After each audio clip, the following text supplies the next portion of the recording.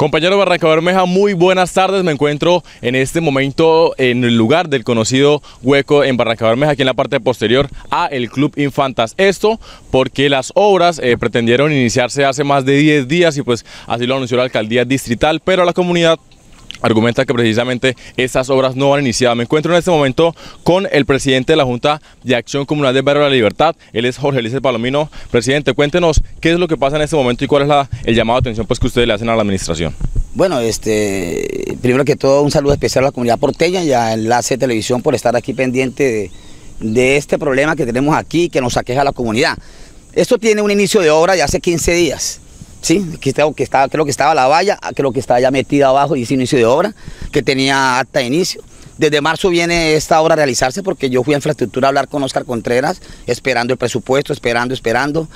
Cuando vemos, nos toma por sorpresa hace 15 días que vienen a socializar, que lo mismo ustedes con la ingeniera Gina a tomarle, pues a mí no me hayan socializado nada, yo bueno, bien, feliz.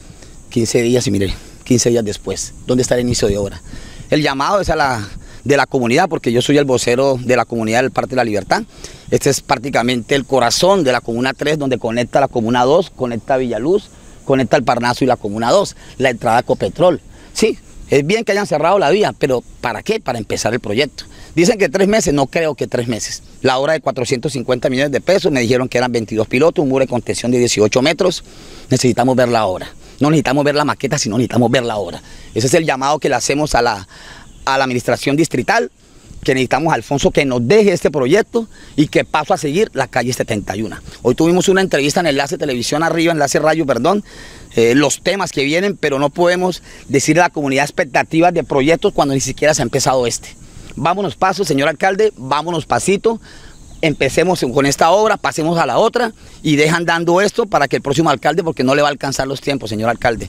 Y yo le pido como presidente de Junta que siempre lo defendía a ustedes en las rendiciones de cuentas y me paraba y sí señor, sí señor, y hasta el momento no ha cumplido, señor alcalde. ¿Cuál es su mensaje, presidente, para la comunidad? Para la comunidad que esté tranquila, que estamos haciendo veeduría, que yo estoy haciendo el ejercicio que me corresponde como presidente de Junta y representante legal de esta organización, de una Junta que está trabajando silencioso de la mano de la comunidad, de los dignatarios y de los actores que quieren empujar esto.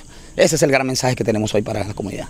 Listo, presidente. La información Barranca Bermeja que se genera en este momento, desde, como ya les mencioné, aquí en este eh, tramo vial que sin duda conecta la Comuna 2 con la Comuna 3, la parte posterior al Club Infantas, este eh, hueco que pues lleva ya eh, varios meses en este punto y pues no ha sido iniciada la obra de contención. La alcaldía anunció en su momento diferentes atrasos por temas de permisos y por temas, digamos, contractuales, pero la comunidad, como ya vimos en este informe, no conforme, valga la redundancia, porque no han iniciado las obras. Esto es un informe con la cámara de Libardo Rueda, Camilo Santos.